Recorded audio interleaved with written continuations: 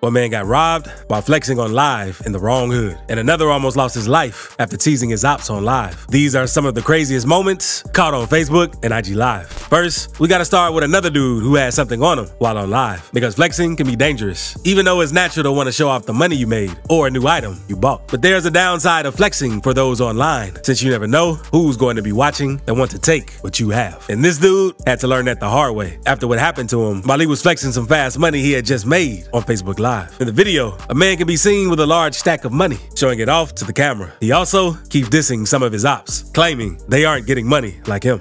Ain't none of y'all get no money. Yeah, y'all know exactly who I'm talking about. Call my phone, man, what's up, all that. He then goes on to claim he made all of that in 10 minutes just from trapping. He also let the viewers know that he had lost a few racks yesterday while shooting dice. 10 minutes, ain't finna bust another play. On God, on my on Jesus Christ, bust another Taking no trips nowhere, none of that. Busting plays, none of that. Three, two bands from Dice yesterday, and come back, yeah. The dude keeps talking trash to the camera for a few minutes while flexing the money. Then, out of nowhere, things went left because this happened. God. Yes. Oh, oh. You got? You got? You got it? You got it? The camera then goes black for a minute, and shots can be heard going off in the background. It seems like the dude recording is the one firing. The camera then comes back into focus, and the man can be heard yelling, What the? How you delete this? What the? Now, how the delete, bro? Get out. Man, man, what? Man, Seems like the dude got as far away from the scene as possible. But this next man, person wasn't so lucky after dissing on live. Because 16-year-old Memphis rapper PSO Emmett was attending a funeral for his friend, Jamarco Smith, another teen from Memphis who passed. On the way to the funeral, Emmett's cousin PSO Dede went live on IG, which showed them walking with the group down the road to the church where the funeral was being held. Towards the end of the live, Dede and the dudes started taunting their ops, telling them that they ain't on nothing and never did anything to them. I never been on. I been on. I ain't, I ain't never sent a slingshot our way. On God. On God. Talk. I bet you don't make it off the. Not long after all the dissing, a group of shooters pulled up in a black Jeep and started letting off shots, hitting both Emmett and his cousin Dede before fleeing. Dede was rushed to the hospital, but Emmett was pronounced dead on the scene. And even though PSO Emmett was known for showing guns in his music videos and rapping about the streets, his mother told the news that he was just a normal kid who worked at Wendy's, went to school, and worked on his music. Emmett's father also felt the same way. a baby, 16, full of life. He enjoyed himself. Best kid you ever want to be around, full of everything you want to see. A 22 year old man named David Lee was later arrested in the connection with the shooting, and he is being charged with first degree murder and attempted first degree murder. Police also arrested Rico Lee, another person who had something to do with the shooting. And the video only gets crazier from here, because unlike the last two people, they weren't hoping for something to happen while on live, but this next dude was wishing for something crazy to happen to him while live. A dude from Alabama named Chris was driving around the city, begging to be shot at, since he wanted to see what hood stands on the most business. Because you can hear Chris riding through the first hood, and he lets the live know that they just hit him up. Oh, these car coming in hot. Oh, they Wonderland down. Hands just shot me out. Look, my window bush. Got holes in my car. Hands just shot me out, y'all. After getting shot at by some dudes from the first hood, Chris then lets everyone on the live know that dudes from Ensley actually stand on business. He then calls out the next hood and says it's their turn to show them they're about it too, or better than Ensley. I got a little bleed. I think I'm bleed. Just shot me out. So, he ain't talking about something. They talking about something over here. See what they're talking about. Ain't just with me. I ain't gonna call police on y'all, bro. Y'all chill. Y'all straight. Y'all ain't got rap fast. Just chill. Everybody chill. I'm getting out of there. Everybody chill. He shot me out. Oh, bro, I had a Glock with a 30 in it too, Jim. Chris keeps letting everyone know that Ensley and Birmingham's actually about it since they hit him. But now he wants Bessemer to take him out to see if they're actually about that life. Hands about that. Birmingham about that. Damn, who about it? Who ready? Kishan, you ready? It's your time with the 308. I think they'll shoot a nine. I think, I think it was a nine shooter.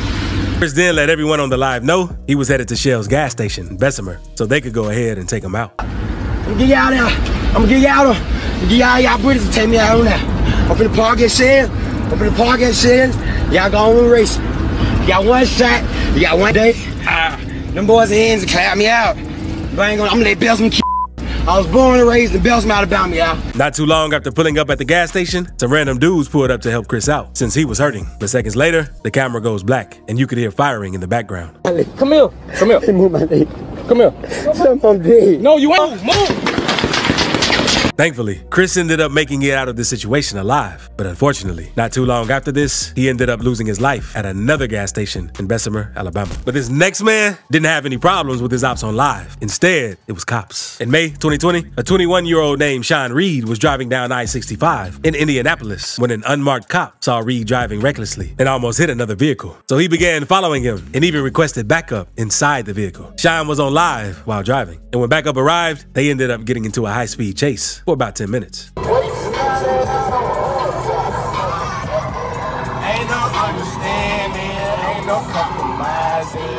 The chase eventually ended when Shine drove into a local business and parked. He attempted to get out and run away, which led to Shine getting tased by the police. Oh baby, oh baby, what's this? Michigan and what? Michigan and what? Ace? I'm gonna park this motherfucker on mid 62nd in Michigan. Somebody come get my stupid. Please come get me. Please come get me. Please come get me. I'm on 62nd in Michigan. I just parked this motherfucker home. Please come get me. Stop now. You. Uh, Not long after getting tased, shots can be heard going off in the background from the police. The live stream continued after he was hit, with more than 16,000 people still watching. The video also captures police comments after Shine had been hit, because one officer can be heard saying, I think it's going to be a closed casket, and more crazy things. Gonna be a closed casket, homie. Probably, run after him and then tase him and then. I'm saying that's a good tase. Shoot at him. One of the detectives eventually notices the phone and ends the live. But the video quickly started going viral on social media, leading to accusations of police brutality. Police claimed that Shine fired first, and they were just protecting themselves. But the comments definitely weren't a good look. The officer who did it was put under investigation, and Shine's mother ended up winning a wrongful death lawsuit for $390,000 in February 2023. Now let's move on to an accident that happened in Chicago, because Chicago is a wild city that's known for gang violence, and the violence has gotten so bad that things aren't commonly happening on live. Some dudes were posted up on the block, flexing money, straps, and dissing their ops, like most gang members do in Chicago. All that for no grade. I hear all And we still up the drink. Yeah, we on our block. Up at 8 of what? About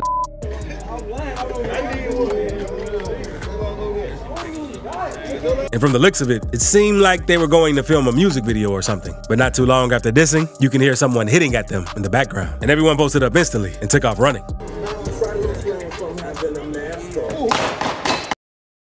The comments were in shock since people were saying WTF and WTH. But that ain't the only time that something crazy happened on a live in Chicago. On March 31st, 2016, a man named Brian Fields was hit while standing outside a gas station in Chicago. At the time of the incident, he was looking down at the cell phone or recording himself on Facebook Live. Just before the shooting, he could be heard telling the camera, They said they heard I was up here, so they had to open the store back up for the kids. And I need somewhere to duck and hide for cover. They heard I was up here, so they had to open the store back up for the kids, though. I need somewhere to duck and for cover.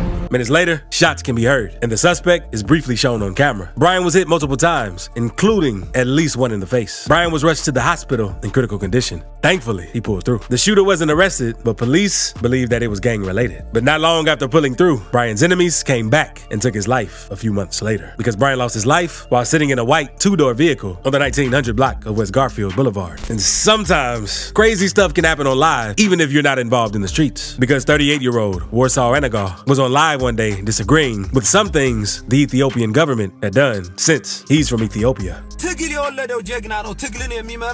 But while live, some dudes ran up on both sides of the car, demanding him to get out of the car. Get out of the car. Get out the car. Get out the car. Get out the car. Get out the car. Damn, I'm not playing with you. I swear to God, I'm not playing. Seconds after he got out of the car, one of the carjackers got behind the wheel and drove off while the live was still rolling, until he eventually noticed the camera and hit the phone out of the way. Right, right. Hit this left. Right. Oh, you this is right.